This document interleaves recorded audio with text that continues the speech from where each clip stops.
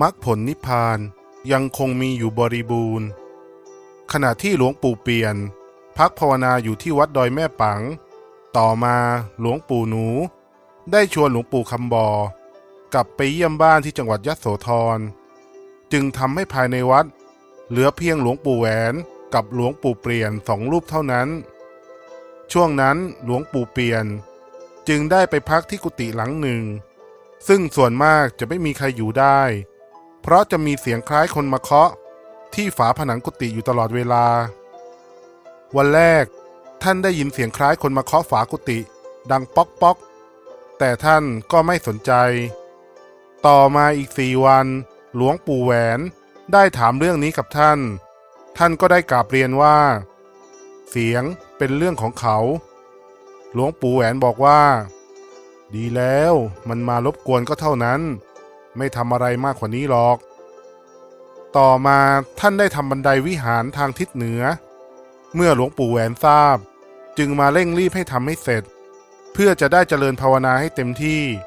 หลวงปู่แหวนกำชับว่า เมื่อทำบันไดนี้เสร็จแล้ว ห้ามก่อสร้างสิ่งก่อสร้างอื่นๆอีก ท่านอยากให้ปฏิบัติมากกว่าไปทำสิ่งอื่น วันหนึ่งขณะนั่งภาวนาท่านนิมิตเห็นหลวงปู่แหวน คุมจีวรมายืนดูท่านอยู่ข้างล่าง ห่างจากกุฏิไปประมาณ 25 เมตร นานประมาณ 30 นาที จนกระทั่งจิตของท่านสงบรวมดีแล้ว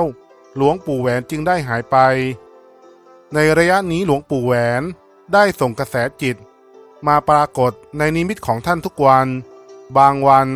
มาปรากฏให้เห็นภาพหลวงปู่แหวน ใส่ชุดสีขาวสวยงาม เมื่อมองไปที่ร่างของหลวงปู่แหวน ก็เห็นกระดูกทุกชิ้นเป็นแก้ว หลวงปู่ยืนยิ้มอยู่ประมาณ 30 นาที จึงเดินจากไป ต่อมาท่าน ได้กราบเรียนถามหลวงปู่แหวน ถึงเรื่องนิมิต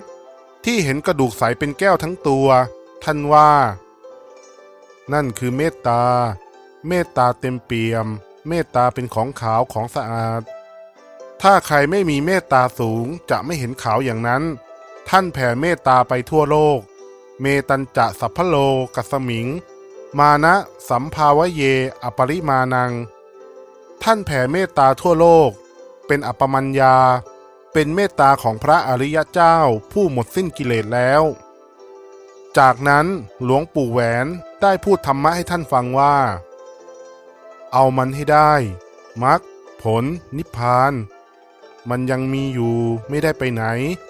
ให้ทำความสะอาดตา หู จมูก ลิ้น กายใจ นี้ให้มันสะอาด รูป เสียง กลิ่น รสผลทพะ เป็นธรรมอยู่ในโลก ตา หู ลิ้น กายใจก็เป็นธรรม ต้องล้างให้มันสะอาด ล้างให้หมดมนทิน อายตนะพวกนี้แหละ ที่มันทำให้เราเกิดอยู่ เกิดวนเวียนในวัฏจักรวัฏวน มันอยู่ในนี้ อยู่ในรูป รส กลิ่น เสียง โผฏฐพะ มันติดอยู่ที่ตาให้ล้างตา ตามันมีแล้วดูไม่เป็น หูมีแล้วมันฟังไม่เป็น จมูกมีแล้วมันดมไม่เป็น มีลิ้นแล้วกินไม่เป็น มันไปติดรถอยู่ที่ไหน แล้วเวลานั่งเวลานอน มันไปติดกุฏิ มันติดอยู่อย่างนั้น มันละไม่เป็น ใจเรามันสัมผัสอารมณ์ มันเกิดขึ้น มันทุกข์ มันสุข เราไม่รู้มัน ไม่รู้จักละ ไม่รู้จักทิ้ง เมื่อไม่รู้จักละ มันกวนก็เกิดอีก ต้องทำความมืดมัวเมาให้สว่าง อย่าไปหลง โลกก็เรื่องของโลก เสียงก็เป็นเรื่องของเสียง มันดังอยู่ในโลก เรื่องสัมผัสทุกวันนี้ มันก็มีอยู่ในโลกจะไปไหนเวลาร้อนมันก็ร้อน เวลาเจ็บป่วยมันก็อยู่กับเรา เวลามันคัน มันก็คันอยู่กับเราอย่างนี้ มันหนาวก็ต้องหนาว ผ้าห่มอยู่อย่างนี้ มันอยู่ในโลก เราจะไปติดมันทำไม ต้องละมันให้ได้นะ ถ้าละมันไม่ได้ มันก็เกิดอีก